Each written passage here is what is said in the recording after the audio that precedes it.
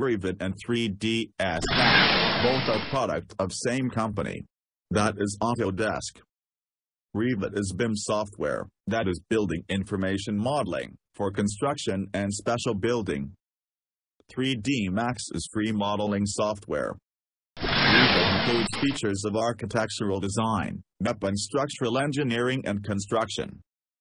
3ds Max is used for creating graphics and 3D models for animation and stills. It aims to allow as much freedom as possible to the user. To work with Revit, you need some knowledge on construction planning and designing. 3D Max does not require much of knowledge on construction. In Revit rough estimation of cost involved can be derived. We can have scheduling details.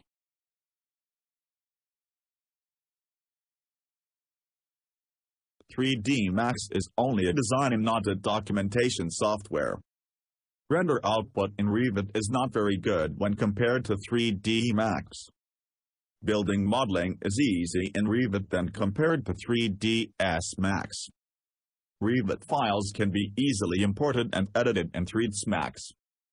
3D Max files when imported to Revit can't be edited easily and slow down your system can create plan, section and elevation in Revit which cannot be created in 3D Max.